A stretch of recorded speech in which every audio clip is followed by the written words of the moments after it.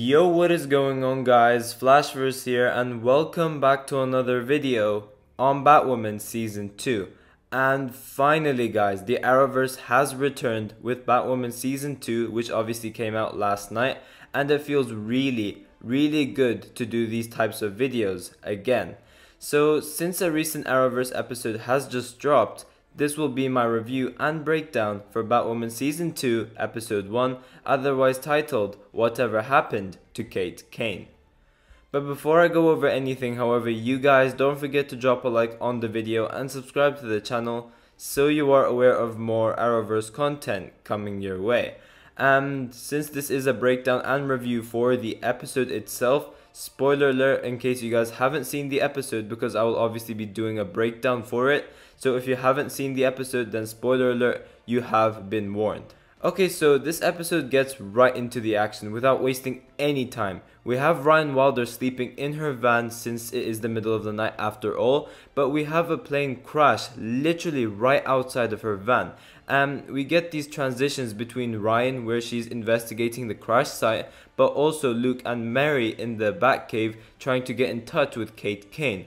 But there has been no sign of her yet.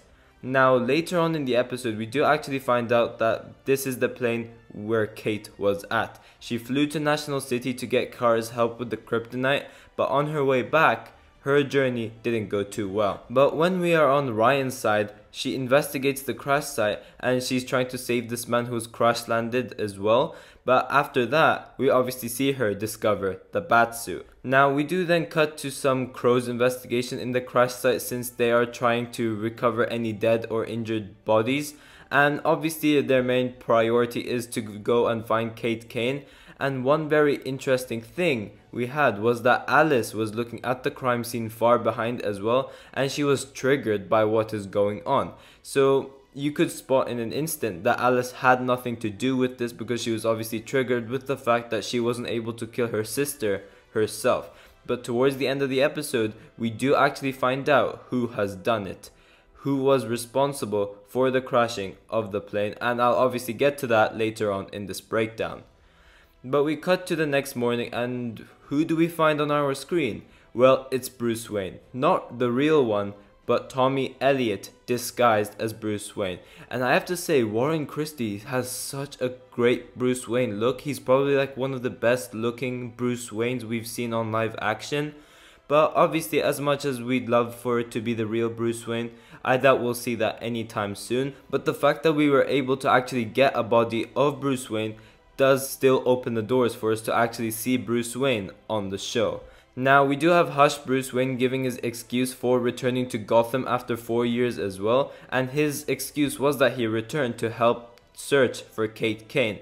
But obviously, he is not Bruce Wayne, so obviously he's going to be acting suspicious because he cannot just be Bruce Wayne like that. He's just wearing his face. So we do have these like slight mistakes that slip out of him, which eventually lead to like some members of the Batwoman team getting suspicious. Like for Luke, he didn't know how to open up the Batcave, for example, so he had to get Luke to do that for him. These like slight mistakes that slip make them suspicious. We then cut to Ryan Wilder in this therapy session just like what we saw in Joker, but Ryan is basically telling this woman that she stumbled across something interesting and basically life-changing and this therapy woman is like, "Oh, you got a job. Oh, have you paid your bills?" stuff like that. And all of these words obviously are triggering Ryan, but we do also get somewhat of a backstory to Ryan and why she's like on the street and like she's forgotten about.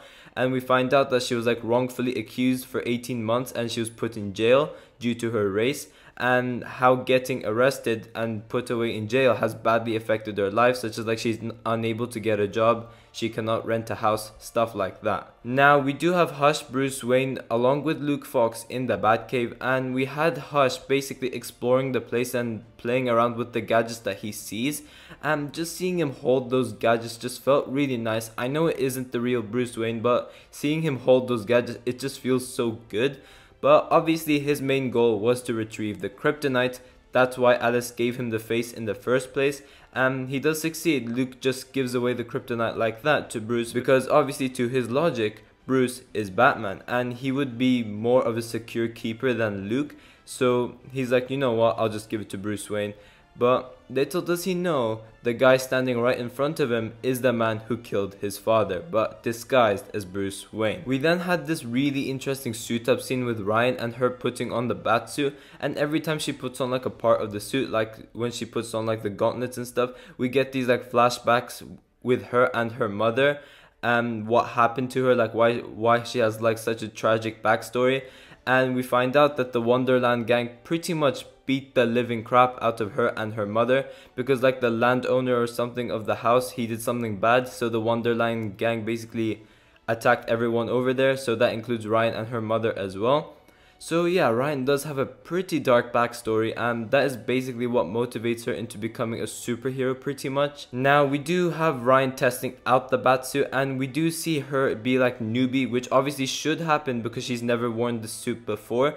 So she does stuff like accidentally enabling night vision for example and then she accidentally hits someone with a batarang in the false face society and then we have her messing around with the grapple gun as well. So she is very very newbie. But she does accidentally activate the GPS as well so now Luke and Mary are able to track the Batsuit but yeah although it was pretty chaotic in regards to how she functioned as Batwoman like how she used the gadgets and stuff she did have some very good practice with the goons as well. We do then have Hush Bruce Wayne basically living the life of Bruce Wayne as well. So he's really enjoying being Bruce Wayne. So like he had something like such as being a playboy, pretty much having two women with him in his bed and him also living in Wayne Manor.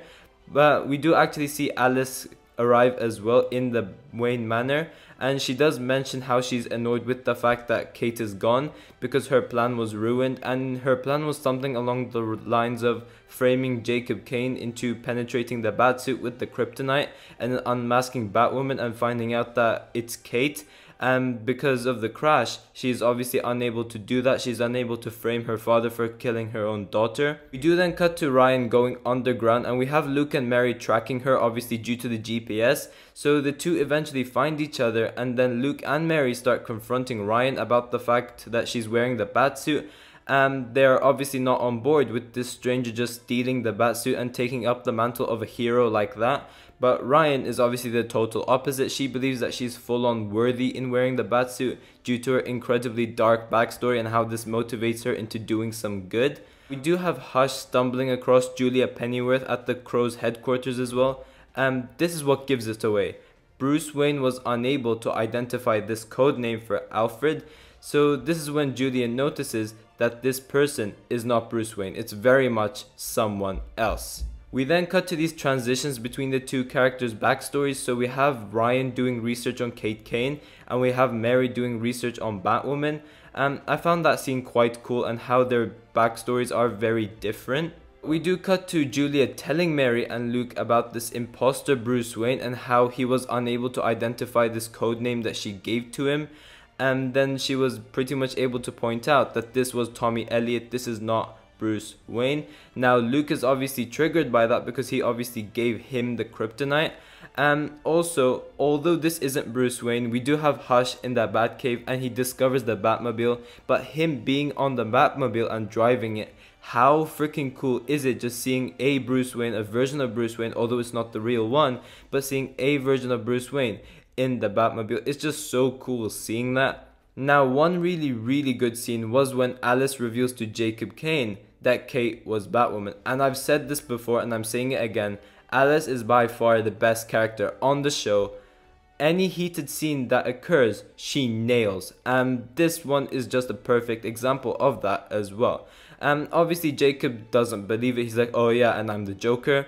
But Alice starts giving Jacob these like small pieces of the puzzle and he's able to put one on one together and then he does realize that his daughter went missing right after he shot her. So that was a really good acted scene between the two and obviously Jacob's feeling like extremely guilty of that because he obviously didn't know that his daughter was Batwoman and he had like this extreme hatred for Batwoman.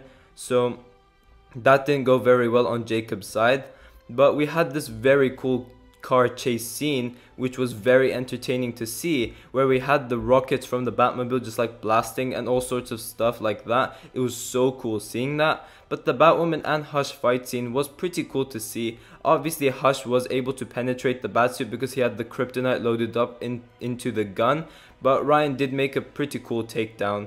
But let's just say the kryptonite does affect her later on, and I'll get to that in a second. Now, we do get the reveal of what happened to Kate Kane through a newspaper, where we have Alice flip it around and we have the message from the main villain of the first half of the season, that being Safiyah. And she says, Consider us even. Now, since nobody was able to find the body, you could still say that she is alive. Will we see Ruby Rose again being Kate Kane? I highly doubt it. So story wise, to fit this story that they're going for and to bring in a new version of Batwoman, I would say that it would make a lot of sense to kill her off. But obviously now, Alice is very much pissed with Safiyah, so I'm very interested to see how that storyline goes.